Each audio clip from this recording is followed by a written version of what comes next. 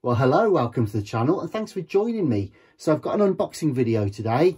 It's a fairly substantial box, I've got to say, pretty huge. I've got no idea at the time of recording what's in here. So I think best thing to do is just start slicing the, uh, the tape and seeing what, what there is. So it's not massively heavy. It doesn't seem doesn't seem that heavy like a big old boombox or anything like that but then again it is a large box so it spreads the load quite nicely. Anyway here we go. We're not not far off finding out now what it is. Okay. Right well have you ever seen such beautiful boxing i have to say? Wow look at this. That's been really really nicely packaged. That's lovely. Um good lord and instant as well instant. Gosh i only bought this like a day or two ago. I'll show you the main event in a moment but we've got the original got the original uh, cable there the old two-way lead. That's fabulous. Um very nice. So let's just put this to one side. Sorry to get excited about the packaging but we get so much stuff comes in. There's so much stuff that comes in it's completely ruined so what I'll do is I'll just bring you in for a slightly a slightly closer look here now. So we've got this beautiful old Aiwa unit. Now the chap I bought it from, it was actually a listing online and it was the TPR 200H and at the, at the time he wasn't prepared really to post it but it was such a lovely looking unit and quite rare that I thought actually do you know what it'd be great if I could get hold of it now he was like about 130 miles away from where I lived and it wasn't really worth the drive to be honest. On the other hand, he said it had been in the attic since like the 1980s or something like that. So I thought, well, do you know what? It's got to be worth a go. See if we can get it to work. So yeah, this looks really nice. I've got to say it's um it's a fair old size for a you know for for a, a basic sort of radio cassette. It really is just the job. So you've got four band radio switch on there, which feels really nice, I've got to say. Volume and tone pots have got some really nice firm feel and resistance to them, so they're lovely quality. You've got a loudness button, which of course adds that extra bit of bass at lower volumes, give it a bit more bite.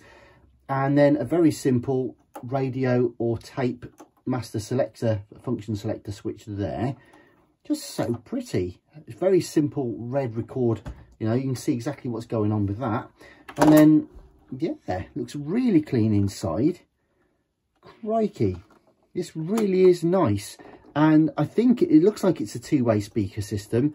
Uh, let me just see. Yeah i can see a tweeter cone glistening there. And that might not might, might sound obvious but quite often you'll get false you get false speakers you know and, and like faux faux speakers and apertures if you like. But this is actually a two-way speaker system so very nice. Um, got external speaker out as well with the remote and you've got your microphone and you've got DC seven and a half volts and AC in. So there you go. Very nice too. Needs a bit of a clean, needs a polish. The chrome work, the chrome work needs a little bit of bringing back, but I'm sure that will be fine. The same also for, for the aerial, which isn't bent, it's intact. It's got the white tip on the end and it locates nicely back into its receptacle there. So that's great news. I'll take a quick look actually at the battery compartment while I'm here. There's something is rattling slightly in there, but nothing major. Right, okay. Evidence potentially of a bit of battery leakage, a tiny little bit of rusty sort of discoloration there, but nothing nothing major. Nice little leatherette textured surface inside. Battery terminals do have a little bit of oxidization there, but I'm sure nothing we can't sort out. It's got the original caution sticker as well on there in lovely condition. It's not faded or lifted or anything like that. Do you know what? I reckon we'll be able to really bring this back. It's lovely. So yeah, see, it does say it there actually, four band two-way speaker system. So that is correct. Wow. Yeah, so whatever is rattling around in there, I'm hoping isn't too bad. It's not, it doesn't seem too, too uh, ominous fantastic yeah i'm a bit lost for words because quite often in fact more often than not when we do the unboxing videos there'll be a bit of a horror story behind it and later on i'll go back and um and try these things out and they're a mess.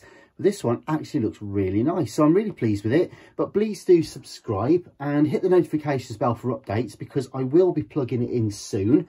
I'll be testing it out just to see what functions do and don't work. And then we'll give it a service, give it a good old clean up and yeah, we'll plug it in and have a proper listen to it. So that's all I've got for you today, but please do check out the rest of the videos on the channel. We've got all sorts of cool retro gear on here. So in the meantime, all the best for now. Bye-bye.